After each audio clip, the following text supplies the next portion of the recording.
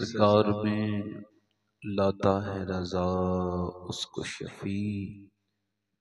तेरी सरकार में लाता है रजा उसको शफी। जो मेरा खौफ है और लाडला बेटा तेरा।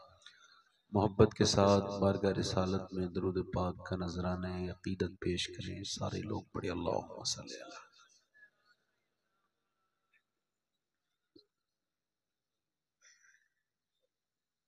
बादरूद लायक एहतराम तज़ीम तकरीम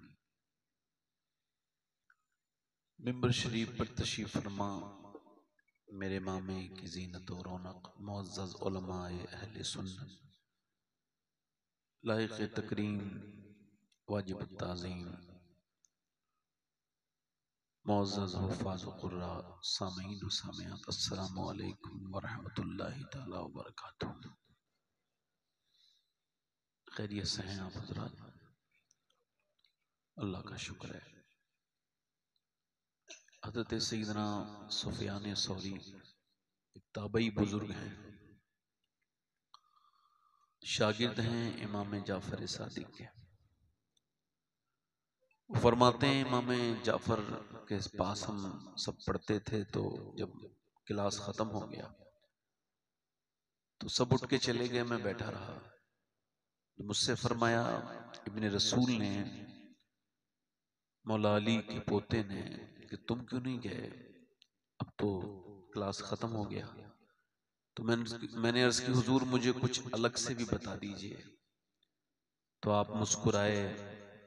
फिर आपने फरमाया कि देखो, सुफियान, जितनी अल्लाह ने तुमको नेमतें दी हैं, यानी सेहत, आँखें, हाथ, पाँव सांस लेना, दिल ये जितनी भी नेमतें तुम जानते हो तो उन सारी नेमतों पे रोज शुक्र अदा किया करो तो तुम्हारी ये नेमतें महफूज भी रहेंगी और अल्लाह इनको और मजबूती भी अदा कर देगा।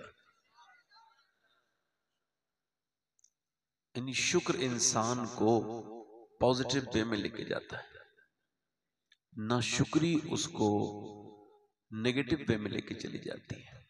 यानी जो भी नाशुक्रा होता है वो मनफी भी होता है। और जो भी शुक्रगुजार होता है वो मुस्बत होता है। अल्लाह आपको खुशियाँ अता फरमाए। ये मेरी आदत है कि मैं शुक्र के बारे में कुछ बातें ज़रूर अर्ज़ करता हूँ ताकि मेरा अपने लिए भी मैं तकरीरी कर अपने लिए ही करता हूँ बल्कि मैं कभी किसी पब्लिक के लिए नहीं अपने ही नफ्स के लिए तकरीर करता हूँ। जैसा कि हमारे बुज़ुर्गों का तरीका है। आप लोग आराम से बैठे रहे जो लोग बाहर खड़े हैं उन सारे लोगों से गुजारिश करता हूँ। अंदर अभी जगह मौजूद है आप तशरीफ़ ले। आए मुझे नज़र आ रहे हैं लोग और जो नहीं आ रहे हैं वो पर्दे के जो पीछे हैं उन सबसे। आप देख रहे हैं मेंबर पे हज़रत मौलाना नूर अहमद साहब तबला अजहरी तशीफ रखते हैं। ये बड़े इस इलाके के एक जिम्मेदार शख्स हैं। और हिंदुस्तान में इस वक्त में ये वहाँ पे अपना लड़ाई लड़ रहे हैं, जहाँ पे हम लोगों का जाना मुश्किल था। मतलब हमारे लोग उससे कतराते हैं, मगर इन्होंने उस मोर्चे को संभाला है। और मैं दुआ करता हूँ कि इन्हें गौसे आज़म के फैज़ान से अल्लाह हर इनकी डिबेट में कामयाबी अता फरमाए। क्योंकि जो चीज़ें हमारे भाई करते हैं, कोई अपनी जान पे खेल के बातें करता है और हमें दो मिनट लगते हैं मनफी बात निकालने में। तो वो जैसे हमारे यहाँ एक मिसाल है कि जो कुछ नहीं करता है तो वो एतराज़ करता है। अल्लाह ताला हम सबको ऐसी बुरी आदतों से बचाए और अल्लाह ताला इस्लाम का बोलबाला फरमाए। अब बड़े अच्छे लोग हैं बहुत ही खूबसूरत हैं, मगर आप सुबह अल्लाह कहेंगे तो और ज़्यादा खूबसूरत हो जाएँगे। पहले सुबह अल्लाह का मतलब समझ लीजिए। जब कोई आवाज़ अच्छी सुन के सुबह अल्लाह कहता है तो इसमें आवाज़ वाले की तारीफ़ नहीं होती। जब आप किसी का घर देख के सुबह अल्लाह कहते हैं तो घर वाले की तारीफ़ नहीं है। जब आप किसी के चेहरे को, उसके अपने भाई के, उसके जिस्म को, उसकी खूबसूरती को देख के सुबह अल्लाह कहेंगे तो ये तारीफ़ उसकी नहीं है। ये जब कोई आवाज़ सुन के कहता है ना सुबह अल्लाह तो इसका मतलब यही है, ये आवाज़ वाला खूबसूरत नहीं है, खूबसूरत वो है जिसने इस आवाज़ को पैदा किया। है जरा सा नज़रिया बदले, बदलेंगे आप? सुबह अल्लाह का मतलब होता है अल्लाह पाक है। और वो किसी के कहने से उस पर कोई फ़र्क नहीं पड़ता। जब आप कहेंगे ना सुबह अल्लाह तो इसका मतलब होता है अल्लाह पाक है। तो मेरे हुजूर फरमाते हैं जब कोई बार बार अल्लाह को ये कहता है ना सुबह अल्लाह तो उसकी रहमतें पूछती है ये क्या कह रहा है? फरिश्ते अर्ज़ करते हैं मालिक वो तुझको पाक कह रहा है। इरशाद फरमाता गवाह हो जाओ मैं तो पाक हूँ मगर मुझ जो मुझे दिल से पाक कह, कहता है मैंने उसके गुनाहों से पाक कर दिया है। नहीं आप बस उसका ज़िक्र कीजिए उठते बैठते चलते फिरते सोते जागते खाते पीते उसको याद कीजिए। उसका नाम लीजिए। इससे आपके दिल में जो कोई मैल होगा ना वो हट जाएगा। हम सबके दिलों में मैल चढ़ जाते हैं। हुजूर फरमाते हैं, जैसे लोहे को जंग लगती है, वैसे ही इंसान के दिल पे भी जंग लग जाती है। अर्ज़ की हुजूर, वो फिर कैसे हटती है? फरमाए, अल्लाह के ज़िक्र से हटती है, कब्रिस्तान में जाने से हटती है। यानी मौत को अटेंड कीजिए, कोई मर जाए। वैसे भी मेरे गौस पाक की तो बड़ी बात है। फरमाते हैं, अगर तुमने किसी की मौत की खबर सुनी है तो खबरदार हो जाओ। अपनी मौत से पहले तुमको किसी और की खबर दे के कुदरत ने एक मौका और दे दिया तौबा करने का। वरना जहाँ तुम दूसरे की मौत की खबर सुन रहे थे, वहाँ तुम्हारी मौत की खबर दूसरे लोग सुन सकते थे। और याद रखना, मौत ओटीपी फील नहीं कराती है। कभी कोई नहीं कहेगा कि तुम्हें मरना है। डॉक्टर भी बराबर कहते रहते नहीं नहीं, ठीक है ठीक है। मेरे हुजूर फरमाते हैं, मोमिन वो है जो अपने आप को मुर्दों में शुमार कर ले। फरमाते तुम खैर जाते हो, खैर? तो हर नमाज़ के जब सजदे को करो ना तो उसके सामने रो दो। उससे कहो, मालिक, हो सकता है ये आखिरी नमाज़ है। मेरे हुजूर की हदीस का मफहूम है, हर नमाज़ को आखिरी समझ के पढ़ो और इसका मफहूम यही निकल के आता है। आपने कभी देखा है, ये नाक न लगे तो नमाज़ नहीं होती। अब मुझे बताइए, नाक से नमाज़ का क्या ताल्लुक है? ये पेशानी लग गई थी मेरी तो नमाज़ हो जानी चाहिए थी। मगर नहीं ओलमा कहते हैं, जब तक नाक नहीं लगेगी, नमाज़ नहीं होगी। नाक का क्या मतलब है? नाक का यही मतलब है, बड़ा नाक वाला है, बड़ा नाक वाला है। फलाना की नाक कट गई, ये नाक घमंड की अलामत है। अब जब तक इसको रगड़ेगा नहीं, नमाज़ नहीं होगी, इसका मतलब ये तो ये है कि शरीयत ये कहती है कि जब तक नाक ना लगे, नमाज़ ना हो और तरीकत ये कहती है जब तक घमंड होगा नमाज़ अच्छा काबे में जाके बाल मुड़ाने का क्या मतलब कोई समझ आ रही है? जो मेरे समझ में आया मैं समझा रहा हूँ। और आप कुछ और भी समझे अल्लाह ताला हिकमतें अता करे जिस पे फजल करे और उलमा से समझिए। मुझे जो समझ में आ रहा है वो समझा रहा हूँ। बाल मुड़ाने का एक ही मतलब है जिसके बाल मुड़ जाते हैं ना उसकी कोई इज़्ज़त नहीं रहती। लोग कहते हैं ना इसकी कोई इज़्ज़त नहीं है। बाल मुड़ाओ शहर में घुमाओ बाल मुड़ा के। अब बंदा काबे में जाता है, अपने बाल मुड़ाता है और फिर कहता है, मालिक देख, मैं तेरे घर में भी आ गया हूँ। मैं मुजरिम हूँ, मेरी कोई हैसियत नहीं, बाल भी मुड़ा दिए हैं। तेरे शहर में घूम भी रहा हूँ। अब ये आजजी करना मेरा काम है और मुझे बख्श देना फिर तेरा काम है। मेरे आका फरमाते हैं, जो आजजी करता है, अल्लाह उसको बुलंदी अता करता जो हुजूर की बातें करता है उसकी बातें जमाने को करनी पड़ती जो हुजूर की बातें करता है जमाना उसकी बातें करने के लिए मजबूर है। दुनिया देख ले बरेली में बड़े बड़े सेठ आए मर गए खत्म हो गए नवाब। मगर मेरे इमाम ने पूरी ज़िंदगी बरेली वाले ने मदीने वाले की बातें की हैं तो आज मदीने में भी बरेली वाले की बातें हो रही हैं।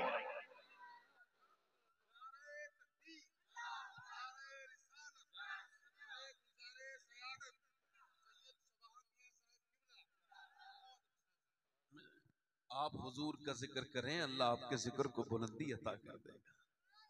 वो कहता है जो मेरे महबूब का हो जाए, मैं जमाने को उसका कर देता हूँ।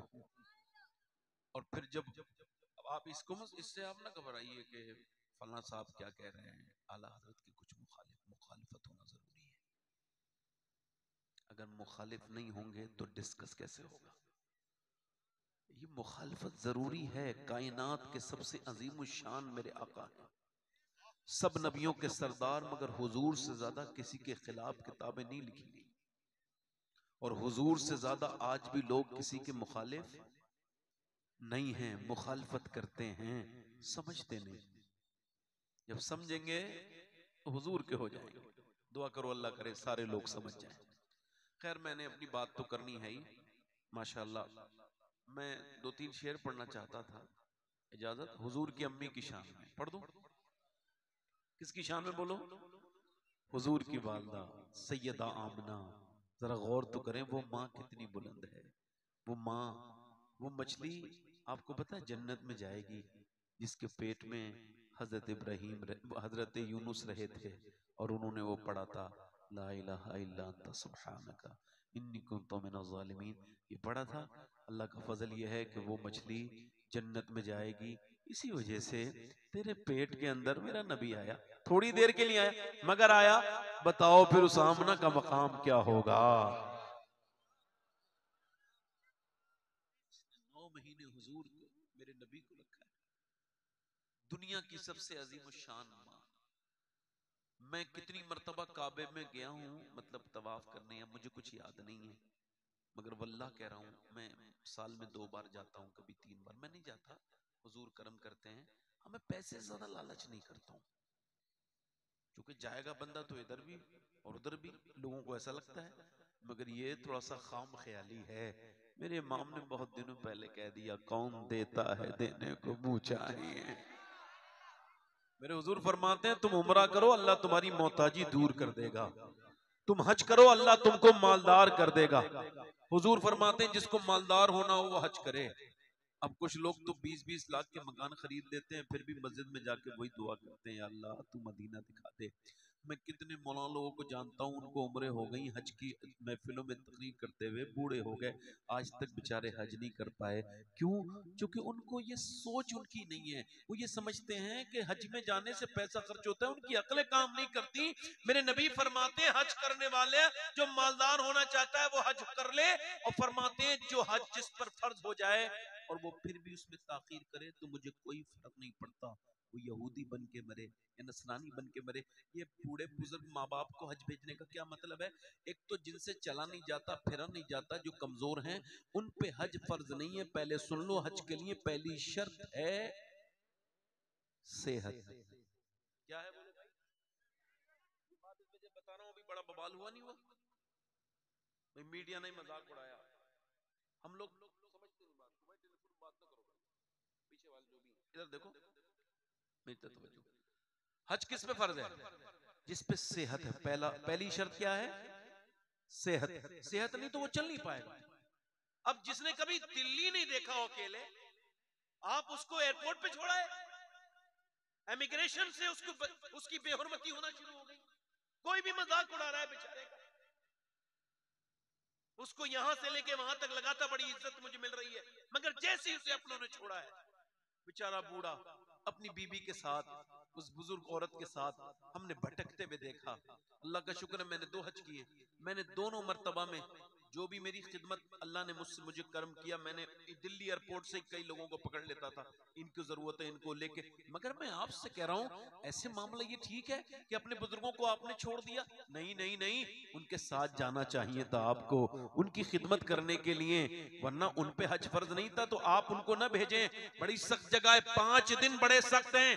इस बार एसी लगाई, इस हुकूमत ने, इन बदतमीज लोगों ने, इन सऊदियों ने, यहूदियों ने, इन पे लानत हो अल्लाह की हज़ार बार, लाख बार लानत हो कि माजल्ला पिछले साल जब पहली मर्त पहली पहली मर्तबा जब अटैक हुआ गजा पर तो इनके यहाँ पे फ़ंक्शन चल रहे थे।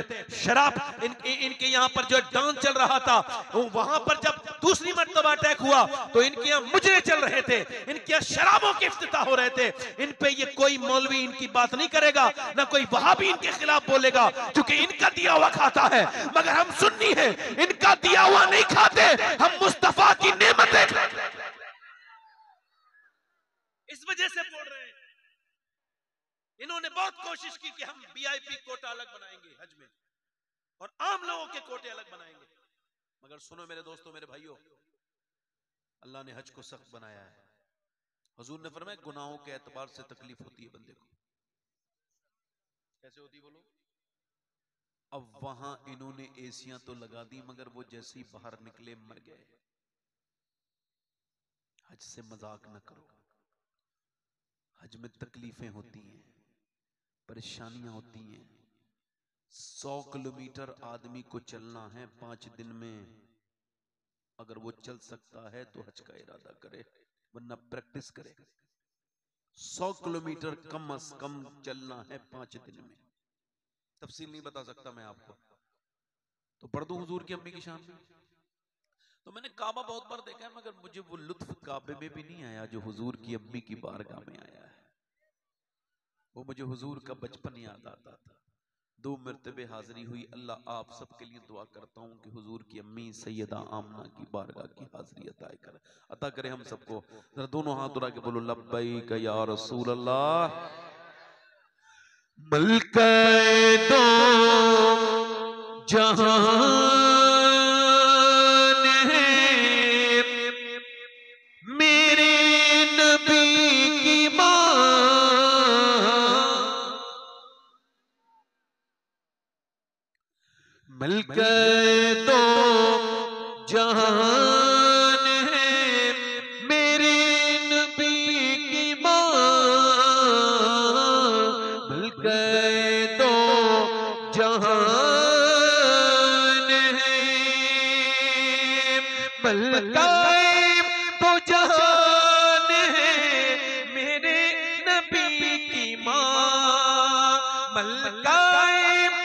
जहान है मेरे नबी की माँ, रहमत का साहिबान है मेरे नबी की माँ।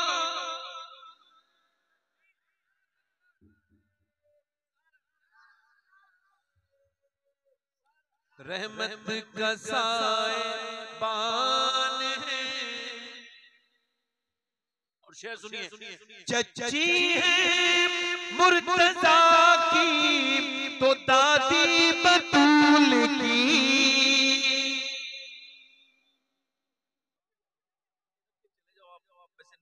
है तो आप ऐसे लगाओगे तो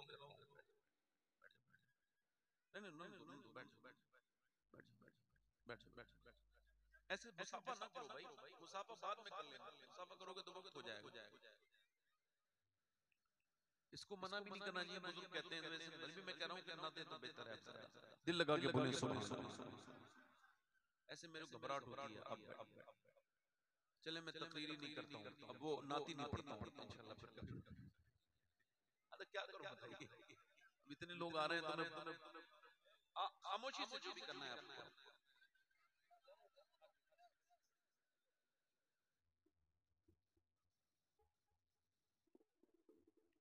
तरफ़ देखें मैं आपको ये नहीं कहता कि आप अपना दें मगर थोड़ा सा आए और चले जाएँ बस हाथ मिलाएँगे तो वक्त हो जाएगा है ना? तकरीर करना है पढ़ो पढ़ो पढ़ो। चची है मुर्तजा की तो दादी बतूल की चची है मुर्तजा की तो दादी बतूल की रखती ये खानदान है। मेरे नबी की माँ रखती ये खान। मेरे नबी ये शेर सुनिए। सब लोग कहते हैं अपनी अम्मी को अम्मी जान। क्या कहते हैं? और अम्मी जान होती भी ये लफ्ज जो दूसरी जगह इस्तेमाल होता है है। असल जान होती है माँ। कौन होती है? कोई और साहब जाना चाहता है मिंबर से चला जाए। मैंने रोकना नहीं है उसको। जिनका काम हो गया उनको चला जाना चाहिए। अब ये शेर सुनिए। सब लोग अपनी क्या कहते हैं? अम्मी अल्लाह करे ये शेर समझ आ जाए मैं किसको कह रहा हूँ? सुनो। कहते हैं अपनी माँ को सब बच्चे अम्मी जान। कहते हैं अपनी माँ को सब बच्चे अम्मी जान। अरे सोचो कि किसकी जान है?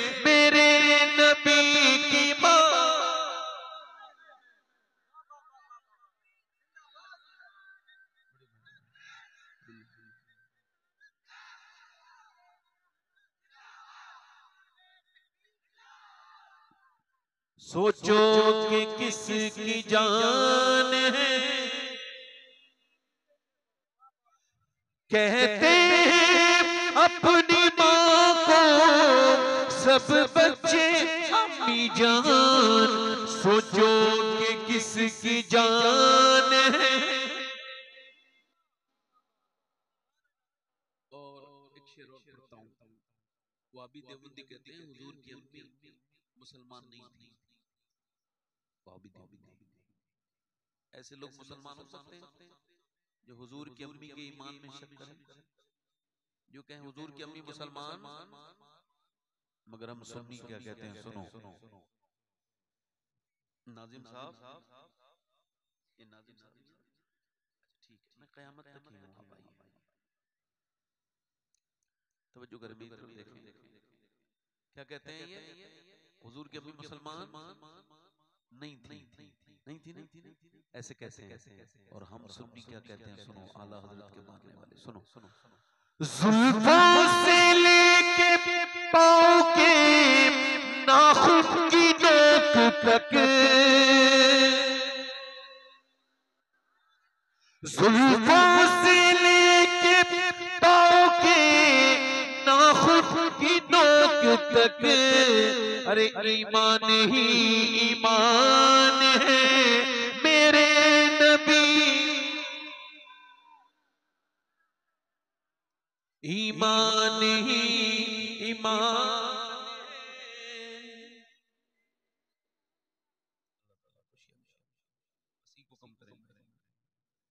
अब लोग जो जाना उठना बैठना वो कम कर दें आप लोग। बस मैं तकरीर शुरू कर रहा हूँ। यह हुजूर की मीलाद का महीना।